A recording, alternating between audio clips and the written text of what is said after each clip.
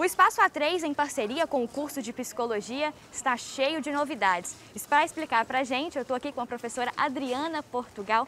Professora Adriana, o Espaço A3 está oferecendo diversas é, oficinas para os alunos, né? A oficina de oratória, o grupo terapêutico e o treinamento de habilidades. Fala um pouquinho para a gente o que é essa oficina de oratória. A oficina de oratória ela surgiu a partir dos atendimentos que são realizados no Espaço A3.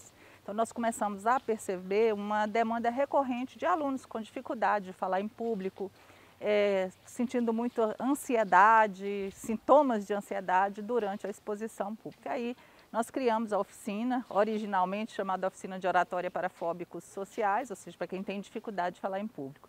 Então é esse, criar estratégias e mecanismos para minimizar a ansiedade gerada pela exposição ao público. Isso.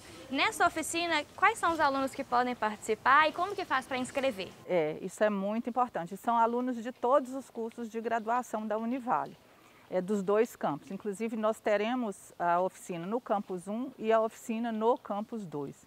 Para inscrever no portal do aluno, é, no portal da Univale, está né, tá lá o link do Espaço A3 e lá tem todas as é, os indicativos para que o aluno possa fazer a inscrição, inclusive o link para preenchimento no Google Forms com as datas que vão acontecer e os horários das oficinas.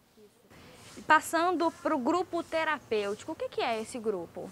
O grupo terapêutico ele também surge de uma demanda da, de alunos da universidade em decorrência do aumento do adoecimento mental.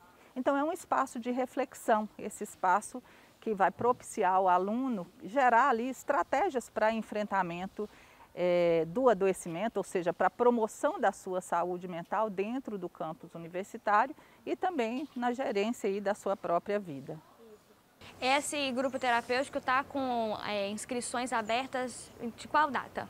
Eles já estão abertas as inscrições e aqui tem um diferencial. O campus 2, ele está com inscrição encerrando agora, no dia 28, e o campus 1, as inscrições vão até o dia 5 de abril.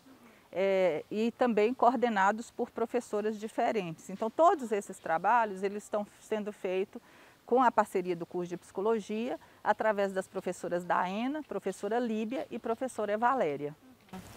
E esse treinamento de habilidades relacionais, o que, que é?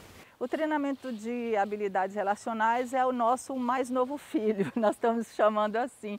Né? É, ele é o primeiro treinamento que ele vai acontecer também para todos os alunos da universidade, mas vai acontecer no campus 2. Desta vez nós não teremos é, oportunidade ainda, mesmo porque é o primeiro.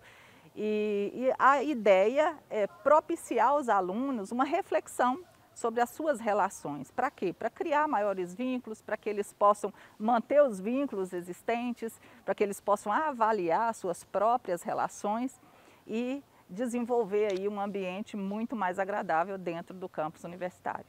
Qual que é o período para escrever para esse treinamento?